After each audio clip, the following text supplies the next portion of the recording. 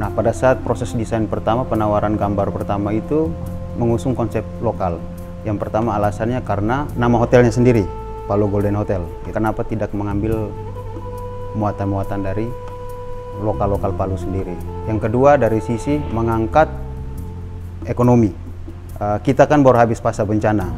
Ekonomi Palu itu betul-betul uh, setelah saya lihat berita itu sekitar 2-3 persen inflasinya.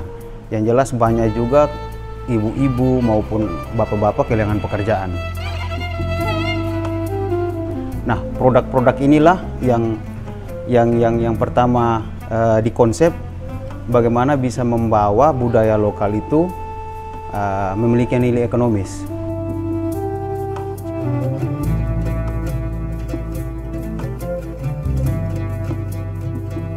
Ya, kami mengikuti pelatihan saat itu.